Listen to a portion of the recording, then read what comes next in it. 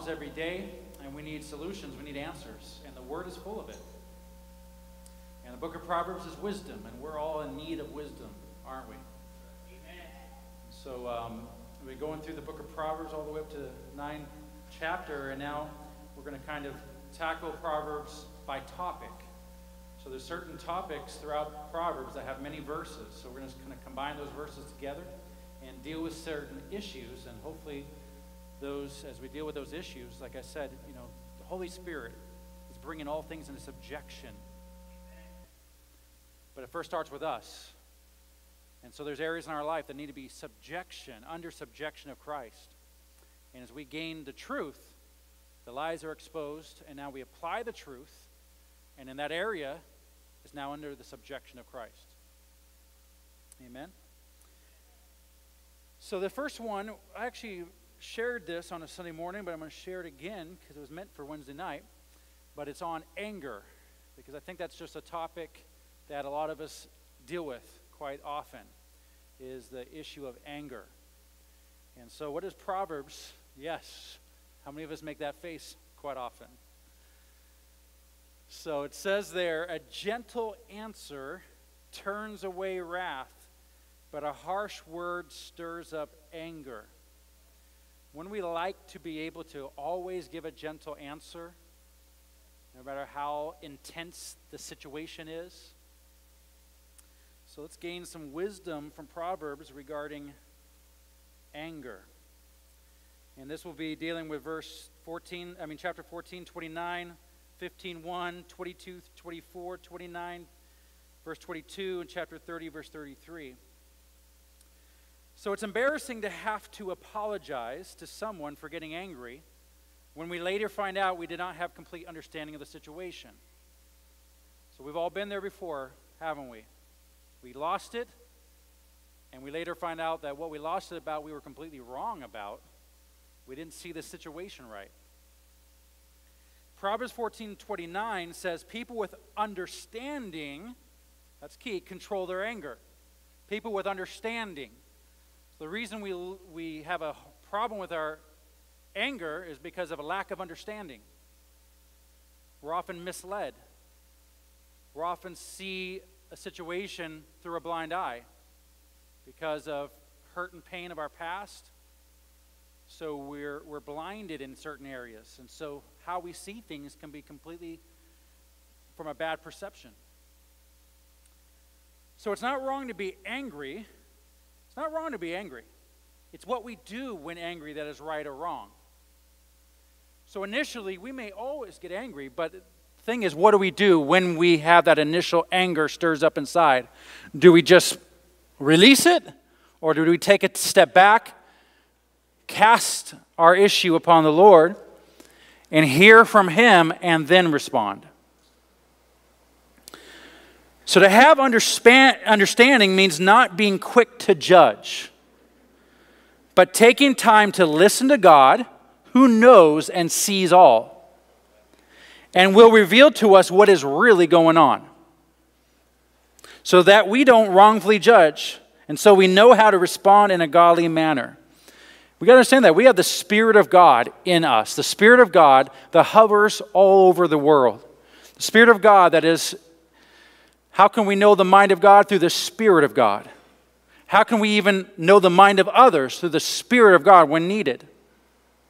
We have the discerning of spirits. So we, we need to learn how to tap into this more often, don't we? And all it takes is acknowledgement. If we acknowledge God in every given situation, He has wisdom for us, He has understanding for us. We don't have to be seeing things wrong, we can see it right. But we have to discipline our flesh to just stop, look, and listen before we respond to anything. The reason some cannot control their anger is because of unresolved issues. When someone says or does something that resembles the unresolved issue, and again, it can be just resembles it, the button is hit and we go off. How many of us can say we have a button? We have an area that if somebody gets close, goes off. You have any kind of device that's really uh, sensitive that you just get near it and it, you know, I'm trying to think of what kind of device does that, but there's devices that you just get near it and it goes off. Or alarms on a car or whatever it may be. You know, we have those things. And God wants us to get to a place, and Holy Spirit can take us there where all the buttons are gone. He's taken off all our buttons. We don't have any unresolved issues left in our life. That's the ultimate goal. I'm going to be teaching about this in a few weeks on God's love. To really gain the fullness of His love, we got to let everything go. And so that is the most peaceful place we can be is when nobody can say or do anything and we're not moved. No matter what somebody says or what do they do, we're not moved. We're not shaken. That's what it means to be strong in battle. For those who are soldiers, strong in battle means you're not moved, you're not shaken. No matter what, that's what boot camp, that's what everything is to pre- prepare you for, is so that when you're in battle, you're not moved or shaken. That's God's work in us to get us to that place so that He can entrust us with anything. So when God is in control, our emotions are in control. When God is in control, our emotions are in control. And when tested, we respond to problems with a soft answer that again turns away wrath rather than grievous words that stir up anger. I've been doing real well in this area, but as of yesterday, I made a mistake. I decided to, what was in my mind, I'm going to speak it out. And though my wife and I are at a way better place than we used to be, and we dealt with it way, you know, it wasn't even that big of a deal. But honest to God, we hardly ever fight. So whatever little fight there was, it could have been avoided. All I had to do was keep my mouth shut. But I just had to say one little thing, and I could have had a much more peaceful night. Yes, sir. That's it. For as it says in Proverbs 29 22, a man of wrath stirs up strife, and a man given to anger commits and causes much transgression. Before that, I forgot to read this, it's dangerous to be friends with hotheads, having to walk on your toes, always afraid of saying or doing something that sets them off. It's wise to avoid friends such as this, for it will lead to nothing but unnecessary turmoil. Now, it doesn't mean that you avoid, because every one of us have issues. But some people don't want to change and are not willing to even go down that road of change. And those are the people we got to avoid. There's people that are hotheads, but they desire to change. And they're willing to go with us. We can take them along the road, but we got to just have the discernment. You know what? We can't help everybody, and some people are not at that place yet. And all we can do is pray for them. So, if you want to avoid a life filled with strife, free yourself from your own resolved issues by repenting, seeking out forgiveness, and avoiding being friends with those who have not. Wisdom, right? Okay, we're going to deal with another heavy issue, and this is about borrowing or debt, which I think a lot of us Americans have a problem with.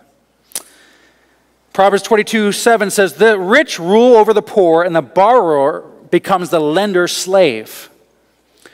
Romans 13 8 says, Owe nothing to anyone except to love one another, for he who loves his neighbor has fulfilled the law.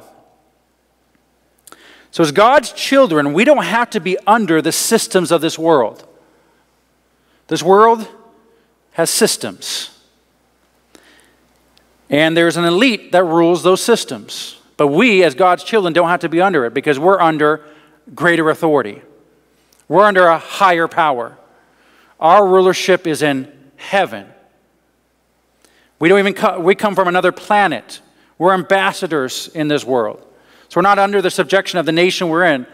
We're under the subjection of the nation that we came from, the kingdom that we came from, heaven. So debt is one of the main factors in the rich holding power over the poor. The elite of this world, most of them are bank owners. Banks are not created to help the poor, they're created so that the rich can get richer. So it doesn't mean you don't have a bank account, but just be wise. Be very, very wise. Now that we're not of the world, we should not be fooled. We should be able to see through the tactics of the enemy. Psalms 23 says, We are no longer in want. Therefore, if we are content with what God has provided right now, we should only get loans and credit cards in a needs only basis. If we're content with what God has given us, and we don't need anything more because God is all we need, and the lot that He's provided for us, then we really don't need to get no loan. Unless, you know, some may feel getting a house and certain things are okay. But others may feel to never get a loan or credit card credit card at all. Okay, the Financial Peace University teaches that, just to have no credit cards. Can people live with that? People are living without credit cards. Am I one of them? No. but people are. But I, my wife is very good, and we have very little credit cards, and we're trying to reduce our credit to basically just our mortgage. Bottom line is debt holds people back from the freedom of using their full resources for the purpose of God. And there's a lot of people in church who really can't do much of anything because of debt. We should put our security in Christ and Christ alone. When we are in debt to another, they hold our security in their hands, and that is not a safe place to be. Do we want to be in our creditor's hands or in God's hands? God's Amen. Until our debt is paid, we are just a borrower. And therefore, the creditor, creditor can take from us what is rightfully not our own. Now, imagine in some of the nations over the last few years, the economy has crumbled. And when somebody had their money in the bank, when they went to get it, they couldn't. That's what happens when we're borrowing when the banks own all that we have. They can seize it, they can take it. So we need to use wisdom. As it says in Romans 13 8, owe nothing to no one but to love them. So the little possible that we owe, the better, except for love, loving people. Amen. Amen. Amen. And now let's deal with bribery. Not something often talked about. But I got a lot out of this. Proverbs 17 23 says, A wicked man accepts a bribe behind the back to pervert the ways of justice. Isn't it, how many of you have gotten out of trouble before because someone you knew gave you a break? Anybody? Yep, that's good. It's good to have, you know, parents might be a teacher, family members, this, that, or whatever. You get yourself out of a mess because of somebody you know. Yes, so that's true. Many of us have that. But is it fair? Of course not. It's not right to be treated unequally from others. Okay, I'm just talking about what Proverbs says. God is a God of law and justice. Those who do wrong must pay the penalty. Yes, spiritually, through what Jesus has done, we are forgiven eternally. But that does not dismiss the punishment for doing wrong. Imagine having a family member victimized severely and a judge giving the person who committed the crime pardon simply because he knew the person. How would we feel? That would not be just, and God is just.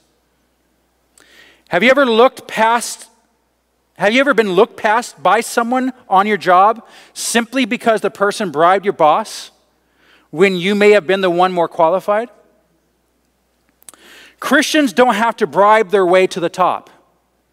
Proverbs 18:16 says a man's gift makes room for him and brings him before great men. So advancing in a career as sons and daughters of God comes as we grow and develop develop the, God, the gift that God has given us. Those who use bribes will always have people with resentment towards them. Those whose gifts promotes them will be celebrated. So, as Christ's ambassadors, we are to show no partiality towards others and expect no partiality to be given to us, but rather to be honest and fair and treat everyone equally. Amen? Amen. So, this is how we should do it from now on. Yes, Everybody's treated equally, and, and we should be treated equally. That's, right. that's, that's, that's what it is about, and that's what. We need to maintain. I know people that are in, um, from what I heard, um, in uh, masonry and whatever, and if you're a mason and you go to court, you just give a sign and you get out. You get free. You get to walk right out the door, but, you know, those things do happen, but amen. Amen. Amen. Let's continue on. We're going to deal with correction now. Proverbs 3 11 through 12 says, My son, do not despise the Lord's discipline, and do not resent his rebuke, because the Lord disciplines those who he loves, as a father the son he delights in. Being raised by my grandma, I knew very little discipline. I actually can hardly recall ever being corrected as a child, ever. I wish. I was so good. I wasn't that bad, but I wasn't that good. The few times I was corrected as a child, I didn't handle it too well because I wasn't accustomed to it. Yet I find upon knowing Christ, I've grown to welcome correction. My favorite sermons are those that challenge me. And I actually like giving sermons that challenge others because they challenge me at the same time. I am now grateful for individuals such as my wife, who is my biggest fan, yet my biggest critic at the same time. My kids, especially my oldest one, teenager, who loves to point out when they think I'm wrong. And also different members of the body of Christ who correct me in love. Hopefully, in love. At first, my reaction was defensive because I didn't grow up with much correction.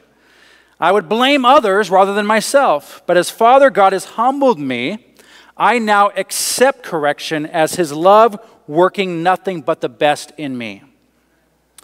People who don't receive correction won't listen to warnings, and therefore they can't avoid experiencing the problems that most people their age face. We can be ahead of our time, ahead of our age, if we listen to those who are older than us when they give us correction and advice. Amen. One reason why my life is so peaceful and I'm not dealing with a lot of stuff is because of that. I have very little drama.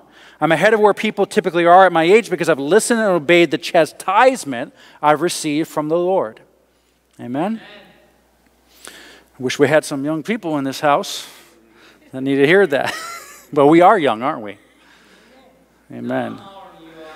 A little bit. I'm starting to get there. Climbing up those 40s. All right, we got one more for tonight before we go into worship. And this is a really important one considering all that's been going on, both here in our home church and throughout the nation with all the deaths, especially in Orlando. And this has to deal with wisdom regarding death. And I think this will be an encouragement Death throughout Proverbs is used to warn those who have no fear of God that the end will be eternal separation from God called Sheol or hell. So, death throughout Proverbs is used to warn those who have no fear of God that the end will, the result will be eternal separation from God. The children of God are not to be afraid of death, for it has been swallowed up in Christ. God's children understand that this life is just preparation for the next one. And the next one is a whole lot better. They, we are all, we who are believers, are in training. And upon completion of this life, we are promoted by receiving, first of all, what we're going to love the most a brand new body. Amen. That's going to be all good. We've, some of our bodies are pretty worn out, but it's not going to be like that forever. The new body we receive cannot get worn out. It's a spirit body, it's perfect body. We will not get sick, We won't get tired. We won't get weary. Perfect body.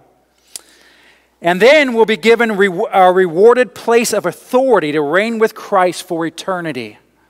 So, though you might be weary in this time, look ahead at the reward that is to come. Look at the end of the race. There's something great at the end of it. And if we can see that prize at the end, we can get through our temporary, momentary displeasures, discomforts, tests, and trials.